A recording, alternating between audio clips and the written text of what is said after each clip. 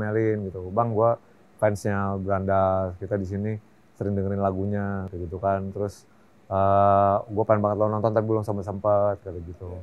Terus akhirnya kita kebetulan waktu itu mau rilis album Brandalisme.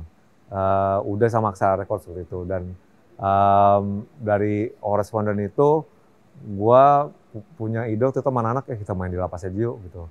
Terus kita propose ke si Hanin Aksara Records kita mau bikin launchingnya di lapasnya gimana? Aku bilang wah bagus tuh ayo katanya. Oh, okay. diyain sama mereka dan diorganisir lah uh, event itu uh, kita kontak ke lapasnya dan kebetulan dikasih lampu hijau udah gitu koordinasi sama media-media segala macam sampai disewain mobil bis gitu kan dibawa ke sana. Bisa bis ini napi bukan?